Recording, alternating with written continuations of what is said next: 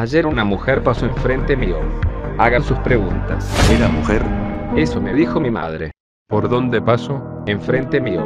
¿Cuándo fue eso? Hace una semana. Agrégénme. Sí. ¿Y qué pasó después? Mis recuerdos se encuentran borrosos luego de que pasase a mi lado. ¿Qué le dijiste? ¿Lo volverías a hacer? Cuando tenga la suficiente valentía, sí. Pero Taku, Olía rico. ¿Cómo te sentiste? Como una potra salvaje. ¿La embarazaste?